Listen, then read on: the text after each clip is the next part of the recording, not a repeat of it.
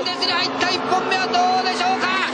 これで決着がつくのか。どうか。さあ今度は川田川田食い込むこれですこれですこれだ来たこれで OK これが見たいんです64川端これならアドバンテージ持っていくでしょうこれでいいんでしょ土屋さんあの横にこれずっとついていく方が難しいんですこれは難しいはい64アドバンテージ川端持っていきましたさあ、今この両者がスタート地点に戻りました。入れ替えてサドンデスの2本目ということになります。川端正人が前、そして斎藤大悟が後ろから追い上げる。先ほどはオーバーテイクドリを見せた。